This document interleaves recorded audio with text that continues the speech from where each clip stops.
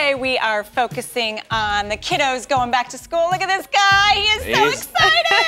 Only time he'll be that happy. Is that your boy? no, no, Oh. that's not my guy. Uh, the funny thing is sometimes the kids are more excited about it than the parents. Sure you want to go to school this year? Because there's no problem if you don't. You can wait five or six years. Come on, Dad. It's time for school. That's right. And the kids, you know, it's sometimes it is Did you hard like on going the to parents. school? I love Oh, going to I school. hated it. I hated, I hated every second. I loved it. I loved to school. it. I was excited to go to school. I'm the only one. So this Always. year, okay, so today was the first day of kindergarten for my son Basil. He's my uh-huh. oldest. So today was a big day, and I actually did a little confessional last night. So we're gonna roll that tape.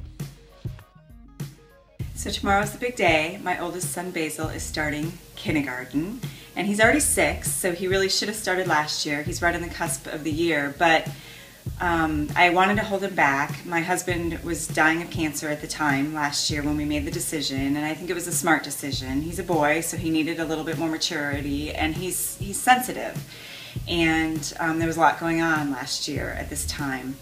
So I think he's ready now. He's gotten some maturity over the year, and I'm I'm sad. I'm sad because these boys were everything to my husband, and it's um, this would have been a highlight in Stephen's life to see Basil walking into that school on his first day of kindergarten, and I know that there's going to be a little piece missing tomorrow without Daddy being there.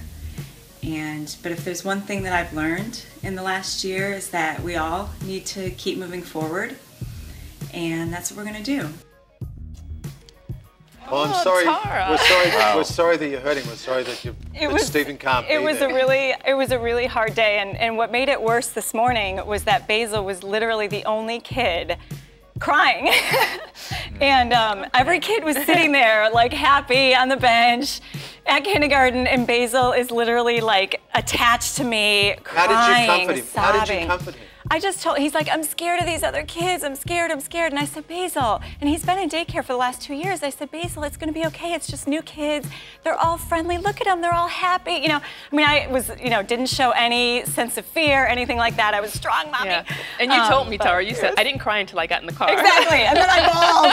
um, but no, but it's it's good, and I know Yeah. when I pick him up today, he's gonna say, "Mommy, I had so much fun today," and, And I'm whatever. sure you can't but- wait to hear that. Yes, Yeah. yes. And actually, the school called and said he's smiling ear to ear. He's in his classroom. He's fine. About 15 minutes after I dropped him off. Oh. I love that, that the school would do that. Yes, It's a mommy they did. comfort.